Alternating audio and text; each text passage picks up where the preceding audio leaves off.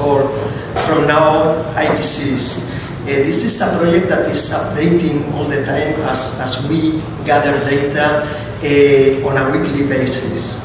Uh, and to start, I would like to, this is a, a slide that I, I like to show always, and it's a comparison on young versus mature trees uh, because they have different biology and so they have different requirements. In the case of mature trees, we all know that they are already all infected by, uh, by HLB, so they are declining in production. Uh, so in this case, the, the, the objective is to maintain the production, the yield, or, or in, in ideally to increase the yield. But in the case of young trees, they come to the field uh, healthy and HLB free. They are not producing yet, but our goal, our desired goal here is to keep the trees free from disease as long as possible. Uh, ideally to have them into production free of the disease. And there are different, different uh, strategies to do this, and as Arnold Schumann mentioned before, one is psyllid exclusion. You can do that by CUPS, uh, but you can do that also with, with individual protective covers. And the, and the concept is, is really similar. It's a, it's a, it's a 50 mesh bag, what we are using, uh, or what we are testing.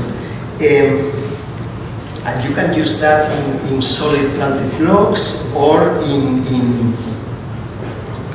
uh, in resets in the, in the field that has already mature trees in the middle. Um, so this, this tool intrigued us uh, because several questions just arise immediately. So for example, are really IPCs effective to prevent infection? Do IPC uh, affect the physiology of the trees? And, and if does that is able to affect also the productivity of the trees? And also for how long can we uh, maintain an IPC on a tree. Uh, and something that is very interesting, if you can maintain the IPCs in the tree for, for longer periods of time, is if you are able to, fruit, uh, to, to set fruit in those trees. And if that production will be, will be important enough. Um, with all these questions in mind, what we did was to start a, a, a trial in, in our center in Immokalee.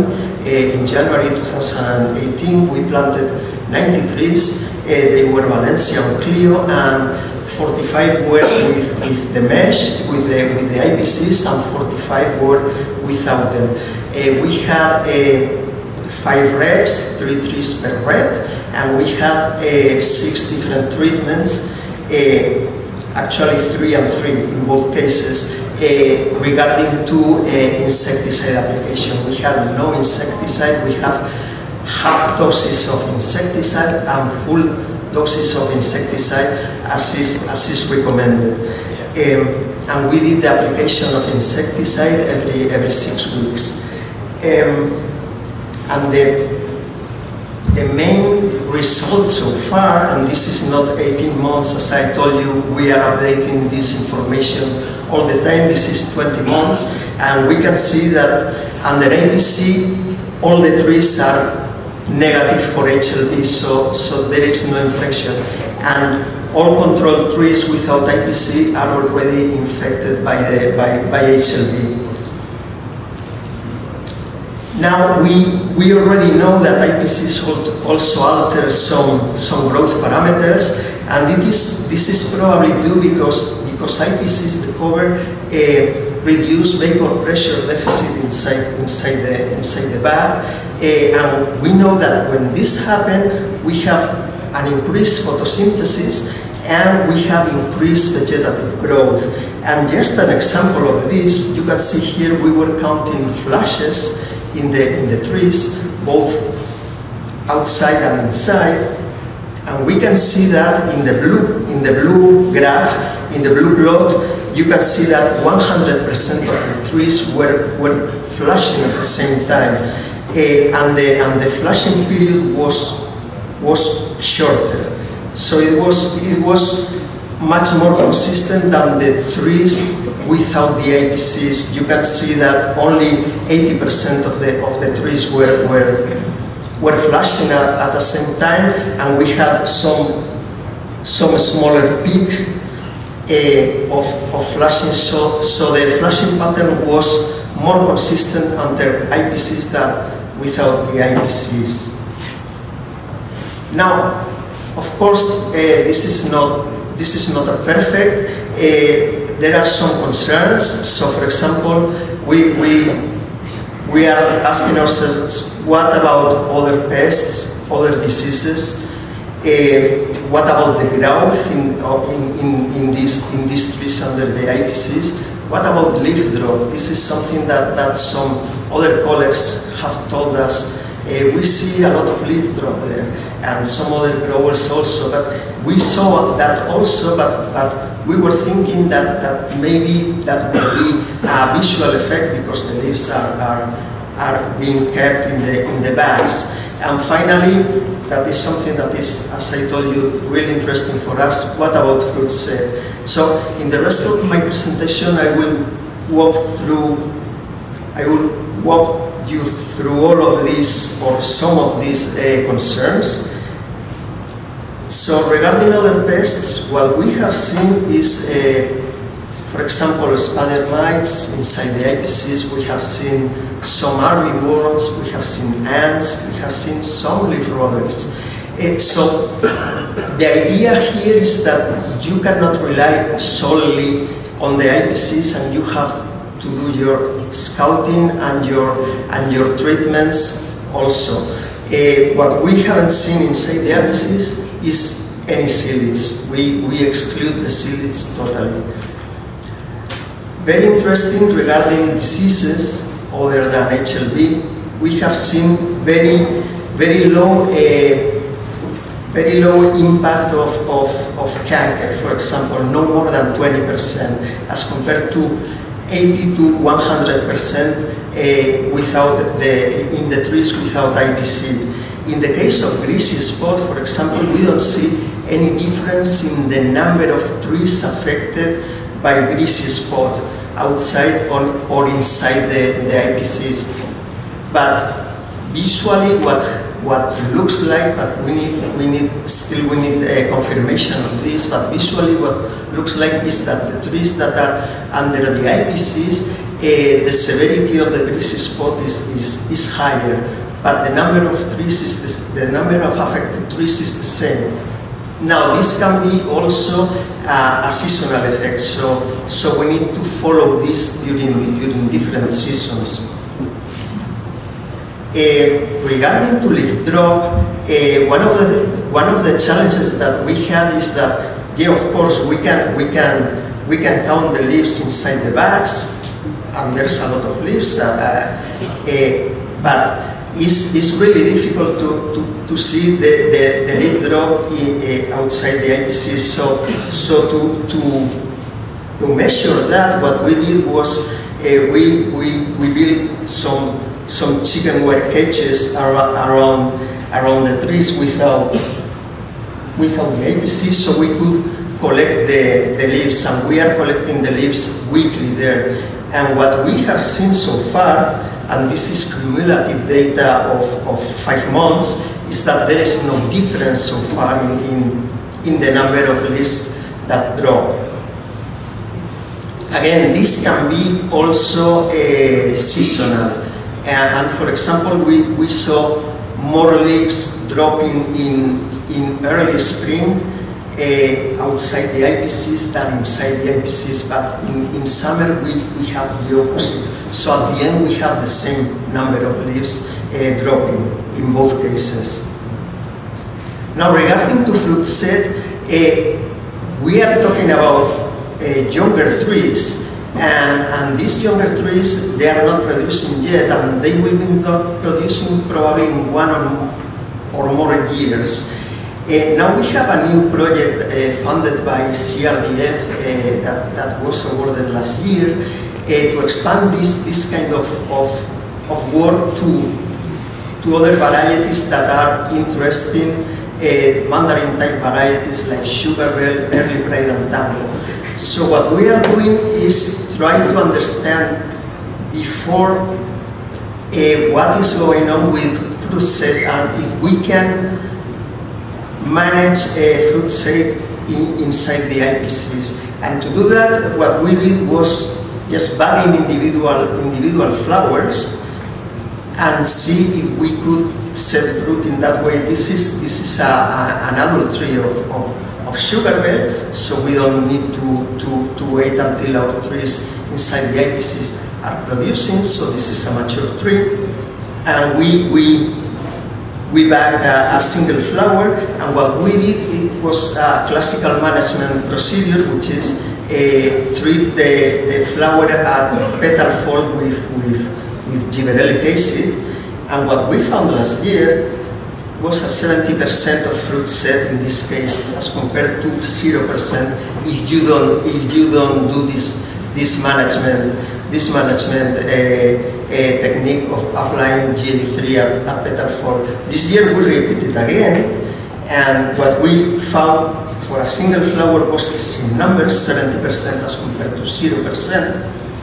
And when we, when we bagged uh, multiple flowers in a branch, so a, a, a, whole branch, we, we found 30% of fruit set if we didn't treat uh, with, with gibberellic acid, probably because there is, there is pollination from the other flowers inside the bag, and up to 80% of, of of fruit set uh, if we treat it with, with GA3. These are really good numbers in terms of, of fruit set and this tells us that, that we can that we can grow at least this variety and we are doing this also with Tango and Early right now. Uh, we can grow at least this variety and make it profitable in, in, in protected environments. And actually we can manage we can manage the, the yield. So in conclusion, after 18, in this case 20 months, IPCs prevented ACP transmission and HLB infection. We know that already. However, you cannot rely only on this and insect scouting and pest and disease management are still necessary. And we have seen that several growth parameters are modified by, by these covers. And also finally that some varieties are able to bloom and set fruit under these conditions. Now, last week uh, we, we proceed to, to replace our smaller, uh, smaller uh, IPCs with these new 8 feet IPCs and we we took the opportunity of, of, of the replacement to scout for, for pest and disease. So most of the data that I show you today come from, from the work that, that, we, that we did uh, last, last week. And, and finally we installed the new, the new IPCs. This was a, a, work that involved several labs and several departments in, in, our, in, our, in our center my own department, citrus horticulture, uh, citrus pathology, plant physiology, and entomology. So it was a, a joint effort to do that. Um, and yes, two days ago, we went back to the field, and as you can see, uh, this is how the, how the trees looked after we, we removed the IPCs. So there is a, a constraint in growth, but that that constraint in growth is, is starting to, to be relieved only after four days. So, so the new shoots are already, are already colonizing the new space. And that's, that's really fast and this is really interesting. So this open also new possibilities for, for research that we are that we are considering. So, for example, how changing the to bigger IPCs will affect the tree growth and the tree physiology. So, for example, we know that uh, vapor pressure deficit is going to be is going to be uh, modified by that. And if that happens, how will uh, how will um, affect the physiology of the trees in the new environment? So, for example, branch unfolding. Uh, what about pest and disease incidence in, inside this new environment? And how are the flushing and blooming patterns? And also one project that we are going to start very soon is um, we are going to, to look at the, the, the well-known edge effect. So probably, maybe, is what we think, maybe we don't need to, to, to place all the, all the IPCs in, the, in, in a whole solid grove. Maybe we can, we can leave some, some areas of the, of the grove uh, without, without IPCs because this, this tendency of the psyllids to accumulate or to colonize mostly the, the, the edges of, of, of a grove. So we are working on that as well. And with that, uh, I want to acknowledge uh, Citrus Research and Development Foundation for, for founding our project, and, and also to Southern, uh, Southern Citrus Nurseries and the Tree Defender Company for all their support with this, with this project, and to my colleagues and friends, Ute, Dr. Ute Albrecht, Dr. Oscar Batuman, Dr. Jawad Qureshi, and our multi-county extension agent in LaBelle, Mongi Zekri, who was instrumental in, in having this uh, started as he put us in, in touch with, with the Tree Defender Company. And also finally, uh, to our master student, Susmita Gaire, who is the person who is doing most of the hard work in the field. And with that, I finish. And we do have time for questions. Um, a couple of questions, starting down here. The question is, uh, we have developed now a practice to say, you know, after 18 months to replace the, the bags, or was it the plan from the very early beginning, or is it better to start with a bigger bag in the beginning? Yeah, the question is actually in summary for how long can we get the, the bags before before we, we replace them. Uh, and that depends on several things. That depends first on the variety. Now we are we are working here with Valencia and Clio, which at the beginning they don't go very fast, but some other varieties they do. For example, if you are if you are growing Sugar Belle, probably you cannot have those trees uh, for for 18 months without changing the cover for a big one. That's one thing. Another one is, is the management that you are doing in the grove. If you are spoon feeding your trees, probably they are going to, to grow faster. So that will that will require a, a, a shorter period replacement. There's a question there. How, how's pollination? Well, eh, some varieties, some varieties, they don't require pollination. In the case of Sugar Belle, uh, what we have shown is that, that you, you don't need pollination. What, what you do is, is just to, to induce the, the fruit set with gibberellic acid. So in some varieties it's possible, uh, it's possible not to have, not to have a pollinator, but that depends on the variety. In parthenocarpic varieties, you don't need a pollinator. In the other ones, it depends. So in this one, in the case of Sugar Belle, for example, we have seen that, that you don't need it. In some others, maybe that will be a problem. Okay. Uh, if, okay, one, we make a quick, quick question. Uh, are you going to be able to reuse those bags? Uh, we, we are going to reuse them. Yeah, actually, what we, what we are doing is, is to wash them, to clean them, to disinfect them somehow and, and put them again in, in, in, new, in new plantings. Okay. All right, thank you, Dr. Alferez.